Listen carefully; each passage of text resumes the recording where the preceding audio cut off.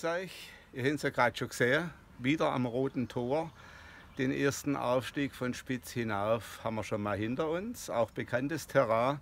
Doch jetzt geht es hinauf auf, den, auf die Michaeler Höhe oder auf den Michaeler Berg und dann hinüber äh, durch Steineichen und Weingärten nach Weißenkirchen. Das ist unsere heutige Tour.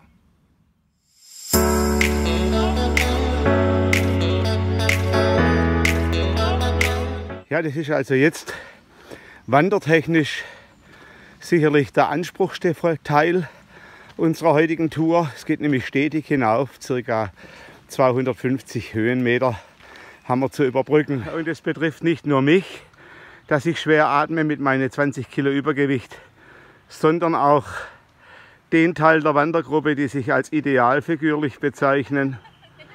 Die sind auch nicht gerade die schnellste.